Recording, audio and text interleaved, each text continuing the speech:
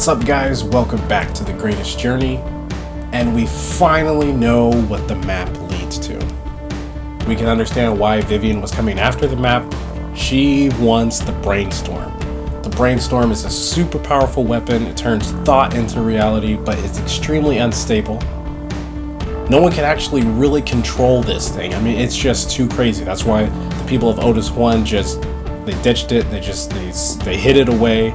And, uh, yeah, so but Lucy knows now. She's in on the she's in on the secret. So we're not sure. We're gonna see what Lucy's gonna do. Is she going to uh, try to help Cora, or is she going to just kind of try to forget about all of this and just be like, "This isn't my war"? So we'll find out. She has tough tough decisions to make, and they need to find a place to hide.